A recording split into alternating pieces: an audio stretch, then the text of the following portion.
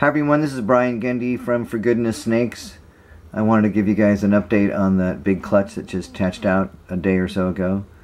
Uh, ended up with two normals, a pastel, and seven bumblebees from a bumblebee to normal breeding.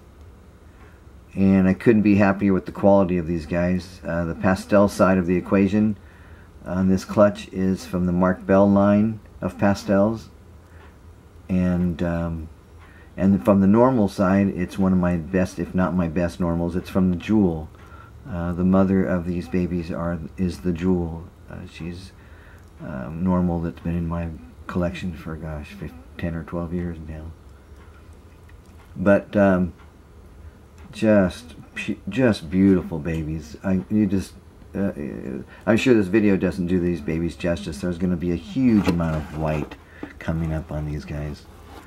Uh, these guys are super clean. The yellows on these guys uh, is super clean. You can, oh, that's interesting.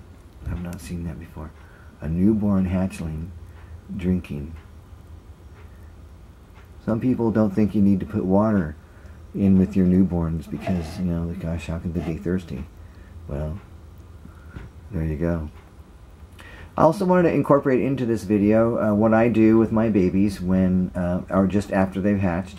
So what I do is I rinse them off, get all the vermiculite off them, all the, all the smut that's on them from hatching out of the eggs, and then um, put them in these individual tubs.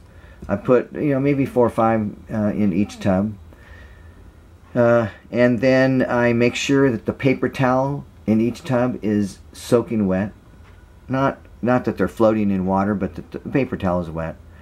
And then uh, also when I'm putting multiple snakes in, in tubs like this, I want to make sure I have ventilation holes.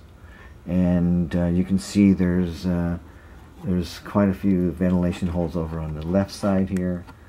Um, and then on this one, I think I counted nine ventilation holes uh, on this tub. But that's important. I want to make sure that you guys, um, that these babies have plenty of air in these smaller tubs. And then after their first shed, um, I put them in individual tubs and keep the paper towel uh, uh, dry and take it from there. Start feeding as soon as possible. I always start with rats, never start with mice.